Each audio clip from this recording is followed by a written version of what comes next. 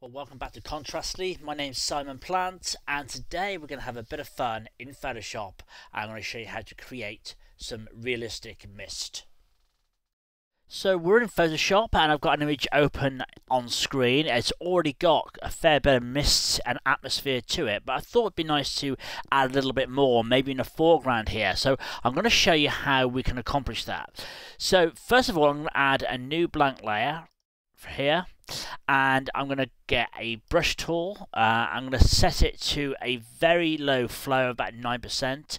I'm going to make sure it's very soft, like so.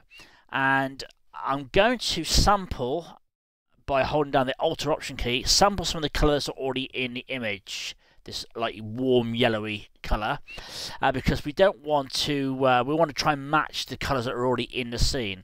And I'm going to make my brush a little bit bigger and I'm just going to gently to start with just add a couple of strokes across the image. I'm going to make this one next one a bit smaller like so okay? So that's our first layer. I'm going to change that. There's before there's after. I'm going to change the blend mode to this to screen which is going to really lighten it up somewhat. The next thing I'm going to do um, is to add a layer mask to this layer, like so. With the layer mask highlighted, so that's the actual image highlighted, with the layer mask highlighted, I'm going to go to Filter, Render, if I can find it. There we go. And we're going to go down to difference clouds. Not what this is going to do is actually going to add a cloud effect to the mask. Okay, the more times you add the filter, uh, it keeps changing. So if you're not quite happy with that, you can go to filter, difference clouds again, and it's going to change it again. And you can do this as many times as you want. You'll get a different effect each time. Now, it doesn't make a whole lot of difference, but you can just try that and see if you get a slightly different effect. Now, at the moment, that's far too strong. I mean, what this filter is actually doing is breaking up the mass, so the effect. So we've got, if I turn this off, so we've got the paint effect that we put on, this mist, but at the moment it's very flat, and I'd like to break it up a little bit, and this is what this mask is doing. If I just enable this, it's breaking it up so it looks a little bit more realistic. Well, it will do. At the moment, it's a little bit too kind of uh, obvious. So the couple of ways we can sort of break this up further is to go to uh, Filter, blur and we can either use a Gaussian blur or sometimes I might use a combination of both. So first of all I'm going to go to motion blur because mist sometimes moves across the scene very low or just hangs there. So I might just add a bit of bit of motion blur to this just to help break it up a little bit further. Something maybe like that. Looks good. Okay, there's before, there's after. So it's just made it look a little bit more organic, shall we say.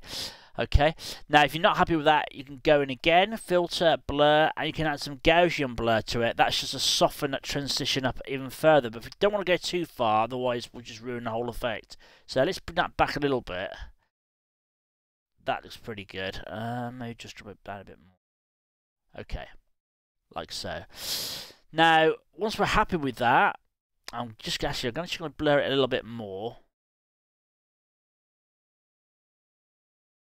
Once we're happy with that, we can then add another layer and we build these up bit by bit and obviously now we can drop the opacity on this a little bit if we want to.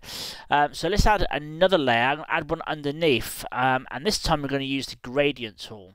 Now the gradient we want is this one. It's the fourth one along, at least it is in my version of Photoshop, should be the same with yours, and it's called the reflected gradient. Now, again, we want to make sure our foreground is the colour we've sampled from the image, and we want to go from foreground to transparent, which is the second one in my presets.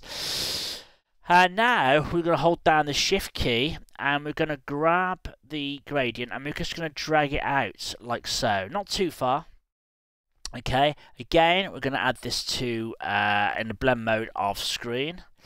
And this is adding a bit more meat onto the image. Okay, the other thing I want to do here is again add a filter. I'm going to go to filter, blur again, and I want to go to motion blur. Now this time I want to change the direction, the angle, so it goes from top to bottom. Just spread that out a little bit. Like so. So it's kind of replicating, very similar to what's here. You've got you've got like a, a, a, a more dense area in the middle, and then it fades out. So we're kind of replicating that using this technique. The gradient's already done a quite a good job of that, but I'm just spreading it a bit further. Okay, so there's before, there's after, and this one on top is just adding that little bit of realism to the picture as well. See, some nice little gaps in there. So if we want to strengthen this, we can compress, can press Command or Control J to duplicate the layer to uh, add another load of density onto that, and that's coming together quite nicely. Okay, so we've got three layers now. Let me just group these together. There's before, there's after. So already working quite well. Now the good thing about this having on separate layers is we can control each of these layers independently. So if we think uh, some of it's a little bit too strong, we can just uh, go in and uh, and add uh, adjust the opacity on those. Now finishing touch, not always, but sometimes it's quite nice to add a little bit of grain uh, to to these layers. I won't do it on all of them, but I'll do it on this main one here. I'm going to right click, convert to a smart object, I'm going to go to filter, noise, add noise, and sometimes, like I said, it's just good to add a little bit of noise to the image. Not much. Now, being a smart object, we can come in and adjust this as well. So it's all sort of done in a way that's flexible. We can come back in and readjust everything. So let's add an amount of two. Just going to zoom in. Okay, I don't, you know, it's not going to do a huge amount, but it just adds a very tiny bit. I'm not sure it's going to show up on the video here, but it just adds a little bit of grain. So it's not like a flat colour or flat tone, it just breaks it up even more. So that is about it. There's before, there's after. So that's a quick way of adding some realistic mist to the image. I think the colour could be adjusted a little bit more on this one, a bit of fine tuning, but uh, overall, I think that's going to work really, really well. So I hope uh, you've enjoyed this video and I hope to catch you on the next one. Cheers for watching.